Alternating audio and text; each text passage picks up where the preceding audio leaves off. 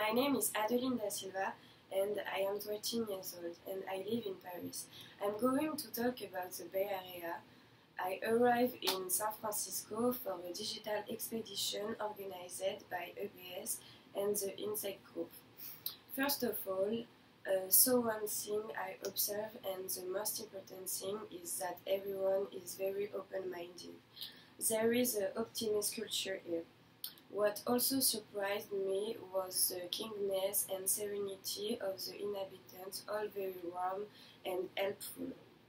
Thanks to this expedition, I discovered Silicon Valley and big companies like Apple and Google.